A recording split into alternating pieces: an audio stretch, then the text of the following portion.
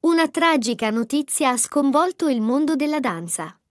Una ballerina ha trovato la morte dopo aver mangiato un biscotto. Era una promessa del ballo, ma si era trasferita in una metropoli per continuare a seguire e a coltivare il suo grande sogno, quello di esibirsi nei più grandi teatri della città e magari del mondo.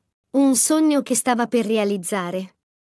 La 25enne Orla Baxendale originaria del Lancashire, Inghilterra se n'era andata a New York per realizzare il suo sogno. Come riporta il The Mirror, la ragazza sarebbe deceduta a causa di una relazione allergica dopo aver mangiato un biscotto che conteneva noccioline e arachidi, cibi ai quali la ballerina era fortemente intollerante.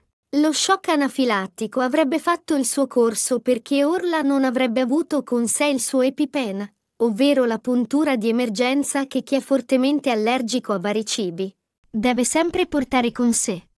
Se avesse avuto il medicinale, forse, ora starebbe raccontando solo un brutto episodio della sua vita. La 25enne era sempre molto prudente, ma stavolta non aveva letto l'etichetta dei biscotti perché era una marca che comprava sempre e non le era capitato nulla. Secondo il Mirror, si ritiene che la ricetta dei dolcetti sia stata cambiata di recente e che, quindi, i produttori abbiano aggiunto arachidi e frutta in guscio nella preparazione. Nel corso delle indagini sarebbe emerso che il presidente e Adi del supermercato Stu Leonard, dove la ragazza ha acquistato i biscotti, Stu Leonard Jr., abbia affermato che il produttore avesse cambiato gli ingredienti inserendo arachidi e non abbia informato il responsabile della sicurezza.